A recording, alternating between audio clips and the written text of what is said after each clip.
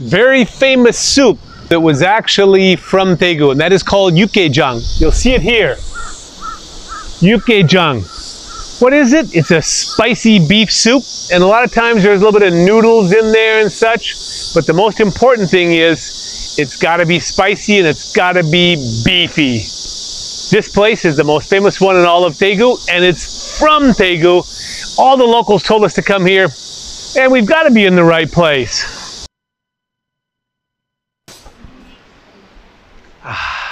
Fragrance of yukgaejang. Yukgaejang is the famous Korean spicy beef soup, and it's from Daegu. And this restaurant, according to all the locals I've asked, is the best one.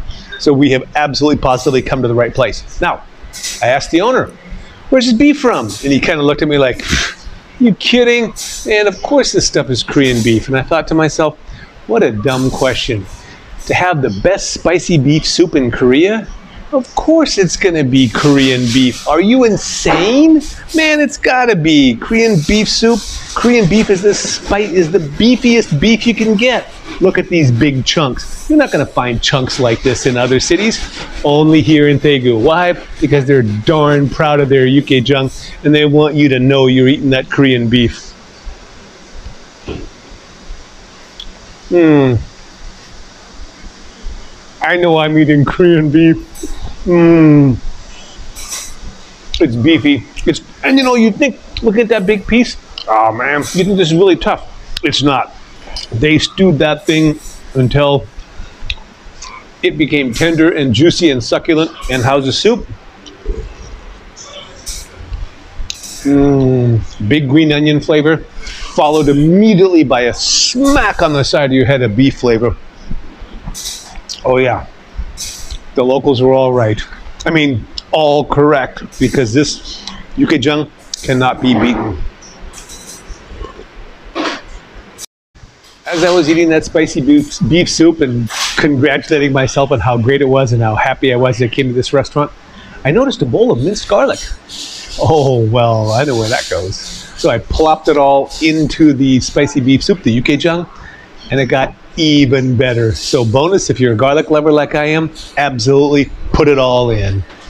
And the second dish that they're most famous for is bibimbap. This particular bibimbap has a full egg, some shiitake mushrooms, some carrots, some shredded cucumber. This, still not sure what that is, and a whole bunch of what appears to be cooked cabbage on top of rice. Well, before we do anything, I want to see how's the rice. So if they cook the rice properly, then everything should be good. Mmm, nice. Okay, great. Chewy but firm, not mushy, not hard inside, just right. All right, mix everything together. There's your spicy sauce right there. And the prerequisite beef, because we're at a beef restaurant.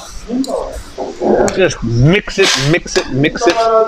Mix, mix, mix. Kind of noisy mixer here. That would be me.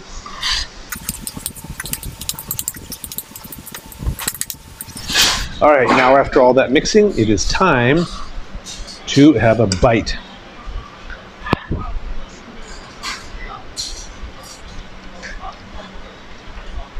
Mighty fine rice texture. Great flavor. The vegetables are fresh and crisp when they should be, and they are nicely cooked when they should be. Excellent bibimbap. Now, is this the finest one I've had in Korea? No, it is not. But it is certainly top notch. The best ones are from Jeonju. That's because that city is famous for it, and that's where it comes from. However, if you're not in Jeonju, you're in Daegu, you want some really good bibimbap, this is the place to come.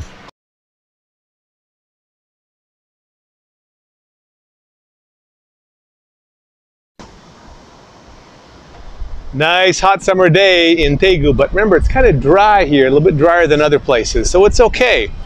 Anyway, we're here at Chilsong Shijang, which means seven star market. This is the biggest seafood market in all of Daegu. They've got two things which really aren't seafood related so much that are here. One of them is the absolute finest grilled pork in all of Korea. It's one of my top four things to eat in this country. The second one was the big surprise that I found while I was kind of perusing this market about a year ago. Really unusual.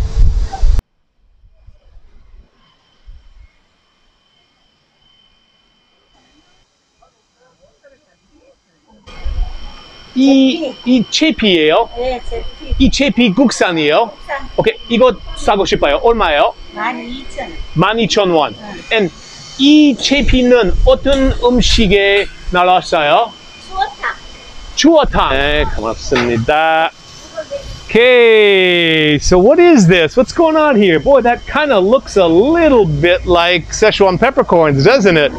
Color's a little different though. Huh, not red, it's not green, it's kind of a little light brownish. What's going on here? Well, it's actually Korean subvariety of eh, 고맙습니다, of Szechuan peppercorns. These are Korean peppercorns, but they go really well with Korean food, and they're strangely not very numbing like the ones you'll find in China are. They're a little bit more like the ones you'll find in Yunnan province, which is at the very south, kind of central part of China. That's where pu'er tea comes from. So in there, they have a little bit of a lemony fragrance to them. And boy, this is tied up tightly. All right.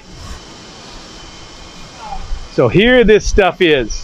See that color? That's really a light color. This is from Korea, grown in Korea. It has a very floral, lemony flavor almost. Very similar, as I said, to the ones in Xishuangbanna in Yunnan. So, how does it taste?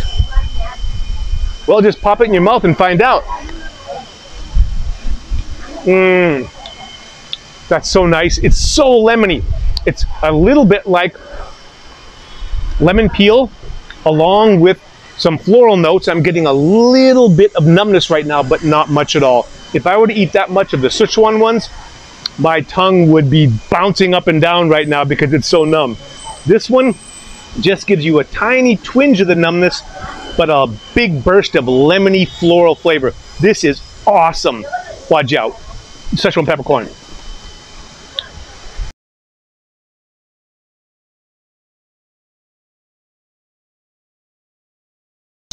This is the fish that you use to make the soup called chuo tang. And you use you gotta use the local peppercorns because these make the fish taste so lemony and so fragrant. These little guys, loaches, in Korean it's uh, mikuraji.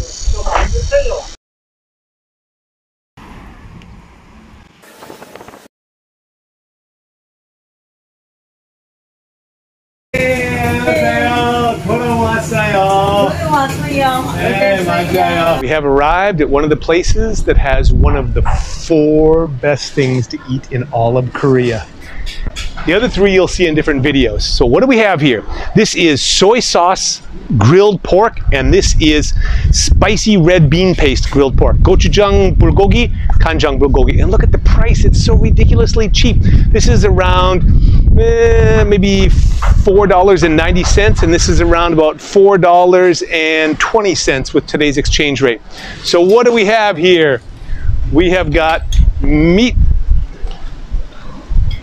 this is the spicy one. This is the soy sauce one. They go through an enormous amount of this stuff per day. We're here between lunch and dinner, and normally the line will be all the way down there, but not right now. So here's where they cook the meat, and they've got it over charcoal so that when the fat drips down, you'll see there's a little bit of flame in there, and then that fat will drip. It'll create some really flavorful molecules. It'll go right back up into the meat, and you are set. I can't help but smile because I'm about to eat one of the greatest things you can possibly put in your mouth and start chewing on. This spicy grilled pork. Fatty, fatty, spicy grilled pork. So, get a little perilla leaf, piece of garlic, piece of hot pepper, a fatty piece of pork, and get some of that pork fat on the bottom that's gotten all the smoky goodness in there. Put that right on anything you want to put on here, you cannot go wrong. I like a little bit of kimchi because that sourness kind of cuts through the fat a little bit. And some of these fermented shrimp because these are really savory, making the dish even savorier. And a little bit of the ssamjang, which is fermented soybean paste with a little bit of fermented hot pepper paste and all kinds of different recipes. Anyway, I gotta stop talking and start eating because I can't wait for this.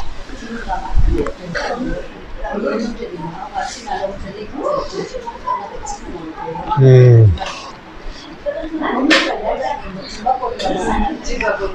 It's so awesome. It's just so awesome. I can't even describe how good it is.